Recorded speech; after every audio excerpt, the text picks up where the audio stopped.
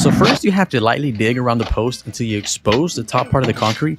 This will tell you how far to hammer in the post buddy stake. My concrete post was apparently not that deep as we hit it right away. Uh, typically you see it at the top of the concrete in the first six inches or so. Check out how rotted out this wood post is. Next you will hammer in the first stake and pay attention to which side faces out because the bottom tip has a beveled edge which makes it easier for the stake to slide down the wood post.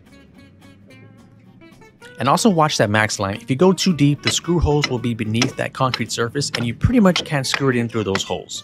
Interesting. So you basically just install it in the void that's uh, that's created between the post and the concrete. I guess you're assuming that the posts are solid below the rot, which is probably the majority of the case. Occasionally, one, you'll see posts that aren't concreted in, or two, the post is rotted throughout. So those maybe two isolated incidents, this wouldn't work, but seems like a solid idea.